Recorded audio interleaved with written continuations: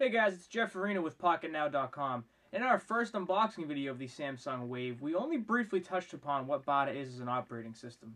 So now what we're going to do is we're kind of going to give you a basic overview of the navigation through the system, kind of give you a tour, what it can offer, that sort of thing.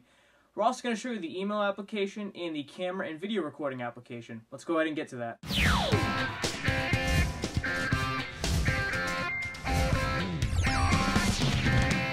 Alright, and we're back, and one of the main points of this video here is just going to be kind of to give you an overview of the Bada operating system on the Samsung Wave. Now, as I've said before, Samsung actually created this operating system from the ground up to kind of revolve around what they wanted it to be. So, I'm going to go ahead and uh, swipe to unlock the screen here. Now, it's going to be kind of tough to tell, but basically the way this operating system works is you're going to have screens. So this is the, the first screen here. Second screen here, as you can see, there's actually a number up here at the top that actually corresponds to which screen that I am on. So second screen, third screen, fourth screen, fifth screen. You can do up to 10 screens. And the way you can add more is you can just keep adding widgets to here. These widgets are just like a widget on a different operating system. You can just come right through, click which one you want, drag it right onto the screen itself. And now it's going to ask you, this is the BBC player, so it's going to ask you to kind of accept the offer, accept the terms and conditions more or less. And from here you can keep dragging this if you want to to the next screen over. There's also a very cool way you can do this as well. You can turn on the side here. Better yet, if you go into the widget mode, you can turn the actual screen on the side here. And this is going to give you a almost like a card type view of all of your pages. And then from here, we can keep going over, and we can add another screen, another screen. It'll go up to 10 screens total. This is where you can also erase the screens. So you see if we go all the way over to the end, there is number 10. So 10 screens total. I'll go in a little further so you can see that a little bit better. 10 screens total for this guy. Now, one of the things you probably saw, and I'll actually go back to the, the normal view. One of the things that you likely saw was this is my home page. Very simple. I'm going to press the done button here. I left my home page simple for a few different reasons. One, there unfortunately aren't very many widgets available for Bada currently. It is a very new operating system. It's actually brand new, so there's only so much customization you can do with it. So on my home screen here, I have the Google search, the Google Maps with the mail. Sliding over, I have my Gmail. From there, I have what's called the daily briefing. That's going to be the Samsung daily briefing. It's built right in, once again, to Bada. Basically gives you some options such as weather, stock quotes, AP Mobile, which is the Associated Press. So, for example, if I come here and actually press this article, there you see the daily briefing starting right up. And now I can actually pick a news article here. It's going to load the website. As you can see, this is the browser function now. So it's going to load, load the website here. And here's the article. Now it has pinch to zoom, multi-touch built right in. So I can zoom very, very smooth as you can see. And I'm all set. You can also double tap to zoom right back out. But again, the pinch to zoom in and out is very smooth and very, very polished. Now, what you can also do is press the end button here to go back to your home. We'll keep on swiping. We're going to have the calendar, the Samsung apps itself, which I'll also get into. This is basically your most visited, and so on and so forth. Now, I will give you a little overview of the widgets that are available currently, just so you can kind of see them. I'll, I'll actually swipe through. So we have the network info, birthdays, days themselves, clocks. Uh, I, I'll, I will skip a few. Uh, the friend updates, the buddies that are online now with the chat and that sort of thing. Once again, the BBC. Yellowpages.com, the wallpapers, music store, dual clock, etc., etc. Now, I'm going to go back here. One of the main things about this operating system is going to be the notification bar. It reminds me a lot of the WebOS notification bar. Now, if we swipe this down, here it's going to be right here. As you can tell, the Wi-Fi is on. It's going to also give you the quick buttons for Bluetooth in the silent mode. And it's telling me currently that I have one notification, which is going to be for the email. So I can actually clear that if I want to. But What's very cool about this is we'll press the end button and we'll press the center button here, which will bring up the main menu for all of your apps that you have on here. As you can see, we have logs, social hub, music player, etc., etc. There's actually about two and a half pages of apps on here by default. The main, some of the main ones to actually take notice of are Facebook and Twitter and YouTube, which I will go into for the next video. Right now, however, what we're going to do is going to go into the music player. It does have one song on here, which is the Samsung Beyond song and I'm going to start playing this song. So I'm going to go ahead and close this. The song is now playing. I press the end button here. brings me back to the home. So I can go into a different application. For example, I can press mail here.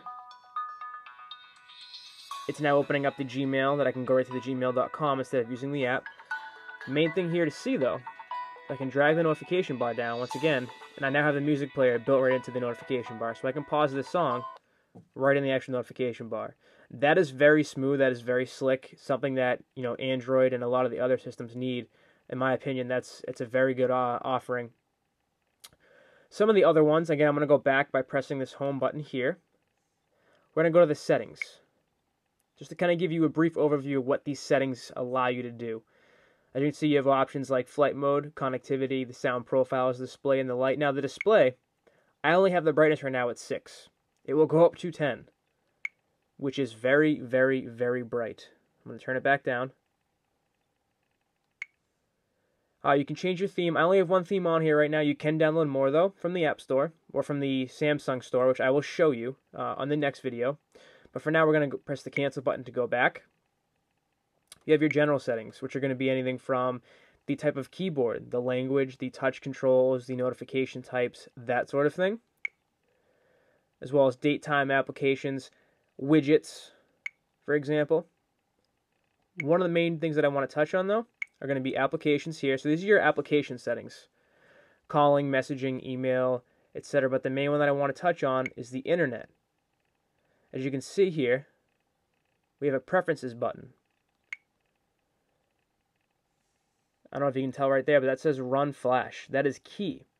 I'm going to touch on Flash on the second video for the software overview, but that is very nice, the fact that the browser has the ability to run the Flash based on that preference. I will warn you ahead of time, this is not on by default. I had to actually go in and turn it on myself. I'm going to press cancel again here.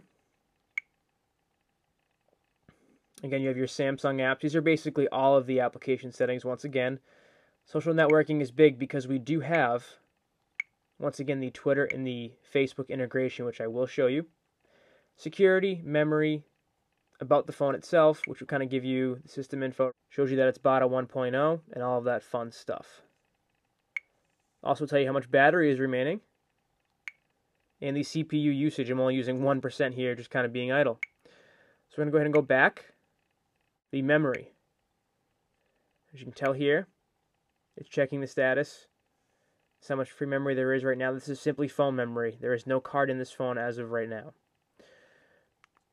Another feature I do want to touch on is the camera. Now, I took a sample clip earlier with the camcorder, which will actually record, if I press the settings button here, will record in up to 720p if you'd like, which is very nice. So I'm going to go ahead and press this back arrow. Right now I'm going to play a video that I recorded earlier by putting the play button down here in the bottom right corner. Now I took this video of my dog chasing after a ball.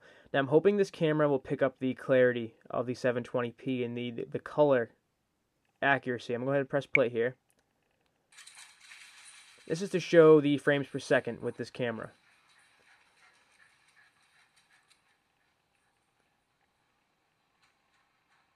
Now he's he's gonna throw it one more time. You'll see him run by.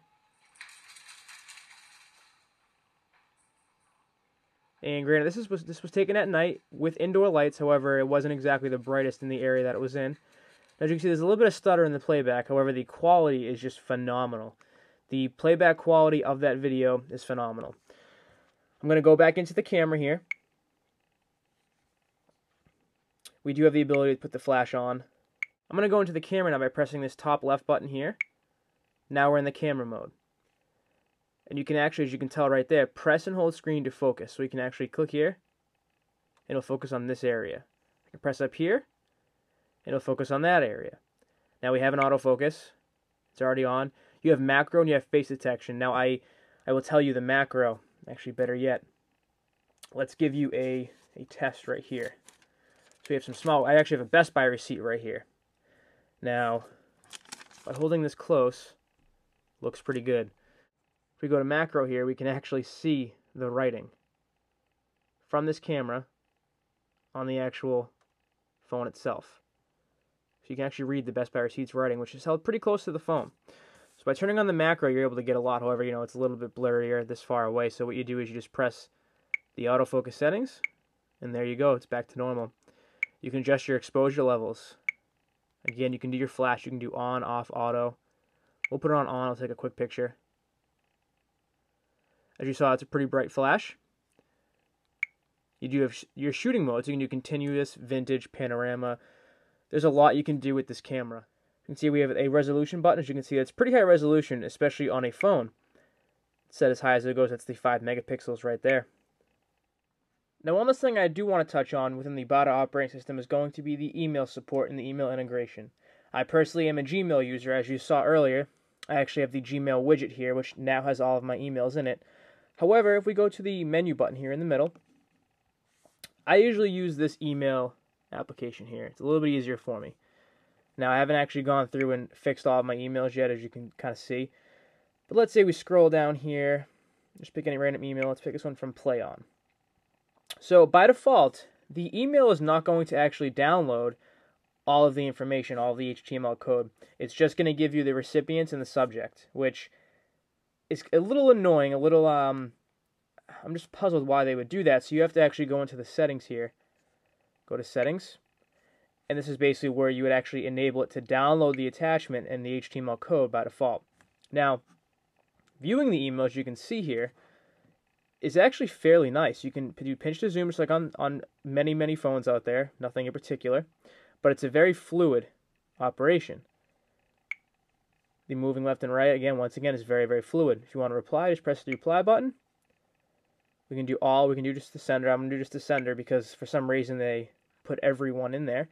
And now I can go ahead and type right here. I'm just picking anything random.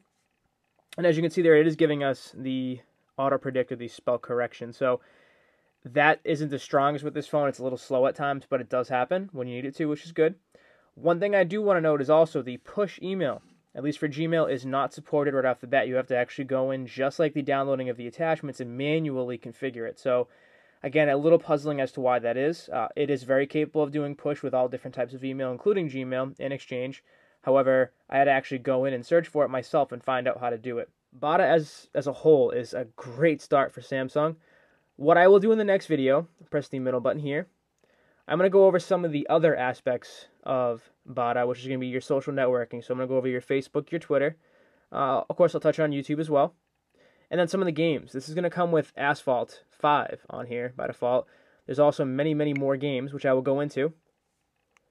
And then I'm also going to talk about Flash and the browser itself. The browser is a very big piece to the Bada operating system, and it's it's unproven at this point, and we're really going to kind of analyze that and see how it works. So once again, everyone, stay tuned. If you like this video, give us a thumbs up and also subscribe if you're interested in seeing the other videos of the Samsung Wave and many more to come. Thank you for watching, everyone.